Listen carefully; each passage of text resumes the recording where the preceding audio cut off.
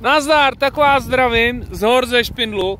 Tamhle jsem chytil ještě malou duhu od sluníčka. Jak vidíte, je to opět hnusné. Spousta bílého sněhu, odporné počasí. Hm. Takhle to vypadá.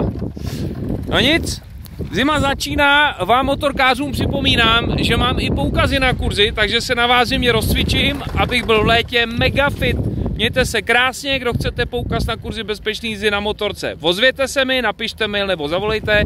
No a kdo pojedete do Špindlu a chcete učit malí děti, tak mi taky zavolejte. Mějte se, čau! No jo, mrtě sněhu, je to odporný.